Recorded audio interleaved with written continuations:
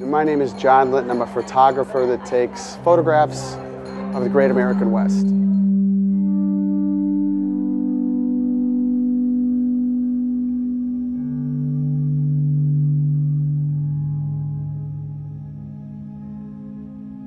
This work I had kind of cataloged and, and I was taking it strictly as a way to reset my emotional constitution from the street photography.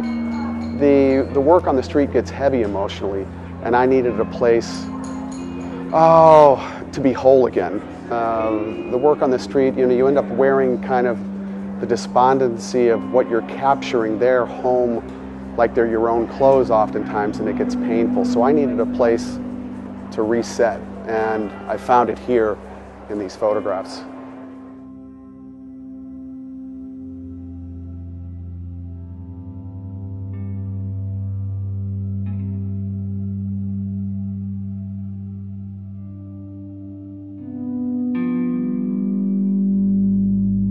It's really about, it's really about patience. Uh, recently, i have had the good fortune of working with someone that's provided a lot of inspiration to me from a picture making standpoint. A preeminent photographer in New Mexico, Ray Belcher, I presented his work a couple, I presented my work to him at a show that he had in Santa Fe, New Mexico.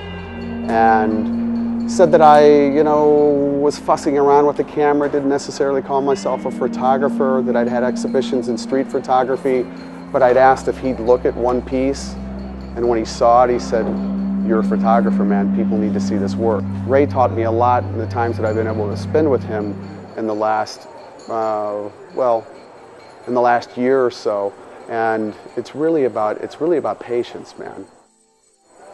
You throw your bobber out on the pond and you patiently wait.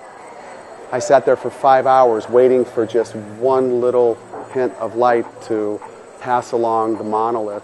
It was a spiritual experience in many ways, Doug. Uh, you could feel the energy in the, in the air, really, and in the ground itself. I mean, it was, it was mystical. Um, these are the kind of places that I like to go places and, and make a picture. And, and, and in the digital world today as well, it becomes very easy just to shoot and click a button and take as many photographs and just hope that one works out. And after working with Ray, I, uh, I changed really my approach completely. So I will, I'll stay present in that moment and be mindful of what's happening in my surroundings, the same way that you used to, you know, uh, really use these old cameras. You know, it wasn't just about uh, a continuous click of the shutter to make a photograph. You had to, you have to stay present and mindful and wait for the magic to happen. Places that actually affect the sensibilities and provide a sense of calm and peace and, and a hope, uh, and, and places that also have some mystery around it.